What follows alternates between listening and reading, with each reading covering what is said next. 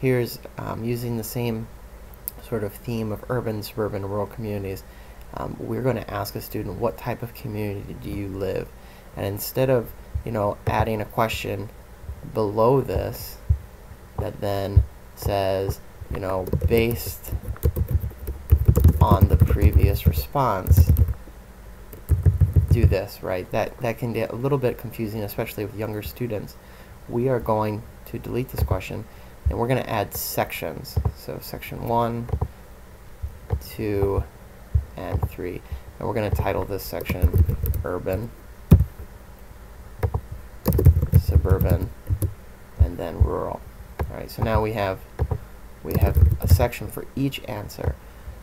Now we come back up here and we ask, again, based on these answers, we want that if a student answers urban, in this case we're going to send them to the urban section and ask them additional questions to describe their community.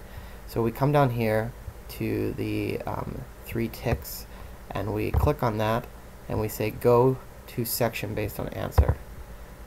So now we get these options here. So if they answer urban, we're going not to have them continue to the next section, but we're going to actually specify to continue to the urban section. Suburban, likewise to suburban, and then rural.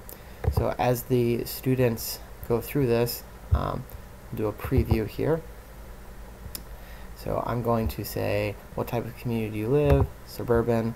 I click next, and voila, I go to the suburban section and would answer um, questions in that section.